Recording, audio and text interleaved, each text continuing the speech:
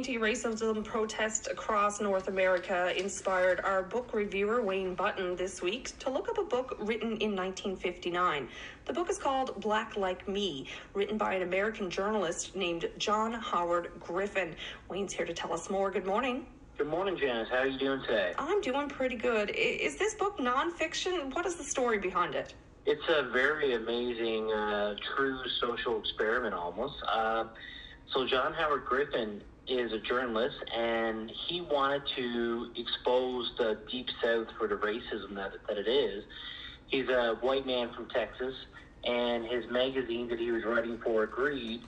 So, what they did was he actually went to a dermatologist. He took pills for several days to help change the pigmentation of the skin, and he spent sometimes up to 15 hours a day under an ultraviolet light. And eventually, with time, he was actually to change the pigmentation of the skin uh, to appear as an African American man.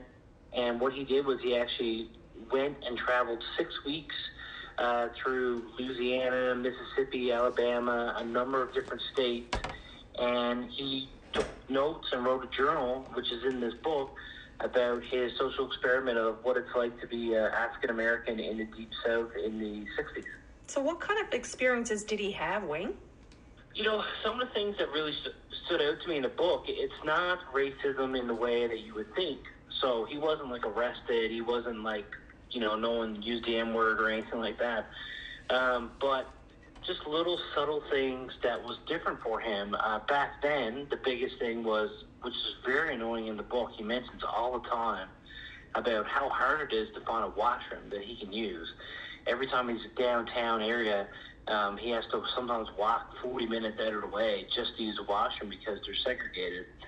And uh, it's very well known in the African American community. Like, oh, if you're going to that part of town, uh, there's not many washrooms there, so be careful. So that was very, you know, that's different today, but that was very interesting to uh, read.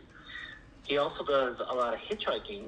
Uh, and what was very odd was he, he was picked up by a lot of, you know, white people as he was hitchhiking, but they would almost partake in weird conversations with him. Uh, conversations, I guess, the way he words it is, you know, that they wouldn't have with their local, you know, white other friends that they could kind of talk with him, almost like I guess I'd use the word locker room talk. Um, so very odd conversations like that, and just subtle things like the way people talk to him and look at him, and and a lot of states like when he was in Alabama, he would actually refrain from going out at night because he heard a lot of bad things that would happen at night to African American people. So just some subtle racism things like that that he actually exposed in the book. Now, the book was written in 1959. Do you think it's still current today? I mean, one of the big things that stood out to me that he mentions, which is probably evolved today, is a lot of, like, how do I explain it? Not a lot of equality in the metropolitan areas at that time compared to the rural areas. So, in the metropolitan areas, you know, African Americans didn't have access to libraries, didn't have access to different schools and stuff like that. So they were actually segregated in a way where they were kept down to not be as educated as the, as a white person. In the rural areas, there were no libraries. There were no like sometimes there was only one school and everybody went to it. So the quality was a lot different in the rural areas. But the internet today and the television probably changed that a little bit, where people in more isolated areas uh, don't have to go to a library or don't have to go to a museum. They can access knowledge online. They can access knowledge through TV. So that probably really, I assume, uh, helped change the racial equality area, uh, issues in rural areas as well. William, what kind of reaction did this book get from readers back in the 50s and 60s? You know, that's the interesting thing that really shocked me with the book because when he was done, he um, he received you know some hate from people. He received over six thousand letters, and only nine of them were abusive in nature. What he said was most of the letters he got was actually from white people in those states, and they were writing him because they were very happy that he did what he did and he exposed the racism in their states. The way that he, he words it is basically a lot of the white people were more uncomfortable with their racist friends than they were with the actual racism in their state.